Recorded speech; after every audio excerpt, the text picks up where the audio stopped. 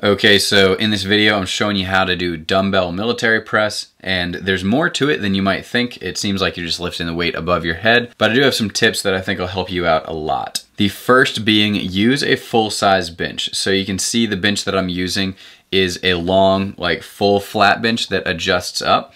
That gives you much better back support. Most gyms will have one of those little seats that's shaped like this, obviously, but it's about half of the height and it doesn't support your back well at all. So for some of you, that might be okay, but especially if you're using heavy weight, it can really bother your back and your shoulders and it limits the amount of weight that you can lift. So you don't get to push your shoulders and triceps as hard as you're gonna want to. You'll also wanna make sure that that bench is slightly declined. You don't want it perfectly vertical.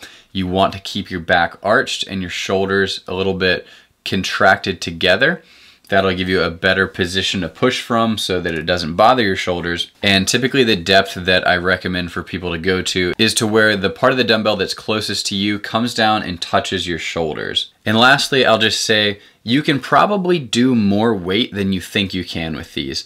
I think a lot of people don't push themselves nearly as hard as they can because it just seems like a lot of weight to push overhead, I guess. So just be mindful of that. Make sure that you're really actually pushing yourself hard. If your program calls for 10 reps, try to use as much weight as you can use to get those 10 reps. This is an exercise that I really rely on, especially for improving my bench press when I started incorporating these into my program, I saw huge gains in my strength on the bench because they do hit your front deltoids and your triceps so well. And of course, as you're seeing right here, if you're interested in getting free customized workout programs, you can go to gentechnutrition.com, enter in a few different answers like what type of program you want, your experience level, the intensity of it, then just put your email and give it about 48 hours and you'll receive your free customized workout program.